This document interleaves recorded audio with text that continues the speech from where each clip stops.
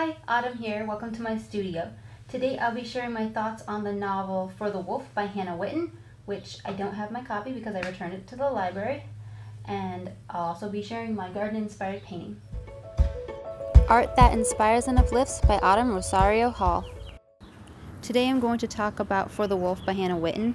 This is not an in-depth analysis, but rather a few of my thoughts on the novel. First of all, the novel is a fairy tale esque fantasy with quite a bit of romance. It's written in first person. Um, at first, it might seem like a Little Red Riding Hood retelling because the main character's name is Redarys, shortened to Red, and the antagonist slash love interest is called the Wolf, even though he's literally just a man. But that's about as far as the Little Red Riding Hood theme goes. It's actually much closer to a Beauty and the Beast retelling.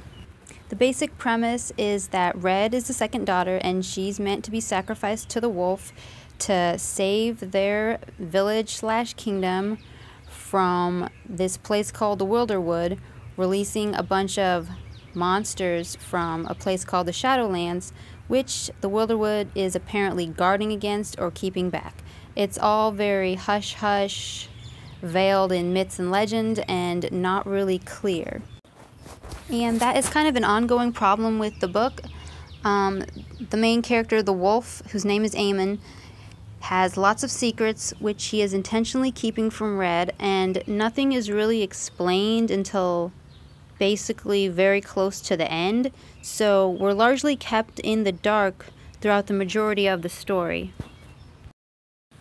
The main plot is Red dealing with her duty, um, some magic she received from the woods, which isn't really explained in like most of the book, and trying to heal the Wilderwood, which is being injured for mysterious reasons, which I won't reveal because it's a spoiler.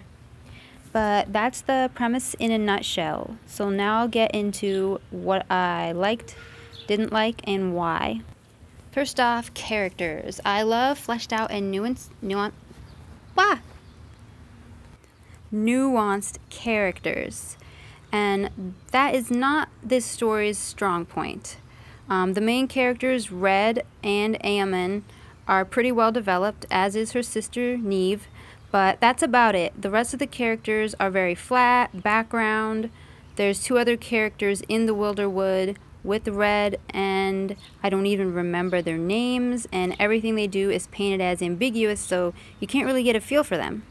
Secondly, the world building is rather weak. Now, I'm not into paragraph long world explanations, but I do like it to have a strong sense of place.